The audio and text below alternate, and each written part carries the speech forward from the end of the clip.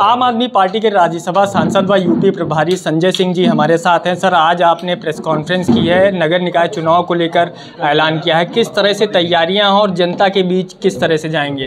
देखिए दो ही मुद्दा है। एक तो शहरों की सफ़ाई का दूसरा हमने कहा है हाउस टैक्स माफ़ वाटर टैक्स माफ़। इन नारों को लेकर हम जनता के बीच में जाएँगे।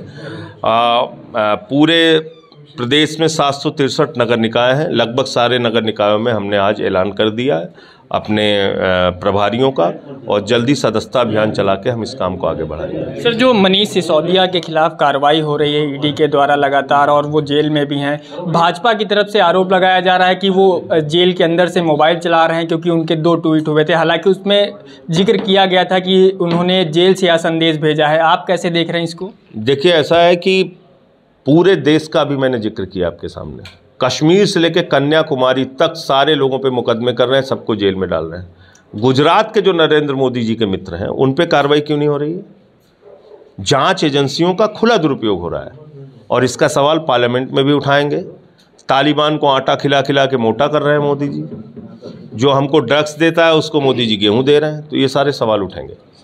आपके आम आदमी पार्टी के राज्यसभा सांसद संजय सिंह हैं, जिनका साफ़ तौर पर कहना है कि आगामी नगर निकाय चुनाव को लेकर आम आदमी पार्टी की पूरी तैयारियाँ हो चुकी हैं और वो इसी मजबूती के साथ जनता के बीच जाएँगे।